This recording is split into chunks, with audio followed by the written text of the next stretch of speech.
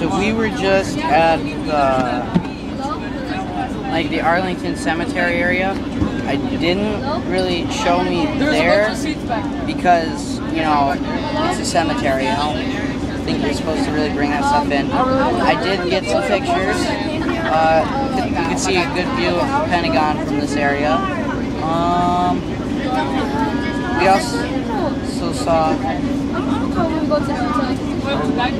we also saw like um the JFK area, like his burial ground. And what we didn't know was that this whole Arlington cemetery area used to be owned by Robert E. Lee, Confederate Army. Yeah, so we only have it now because he sold it. He wanted money for it. He almost sued us. And um, like I said, I did get. What are you doing?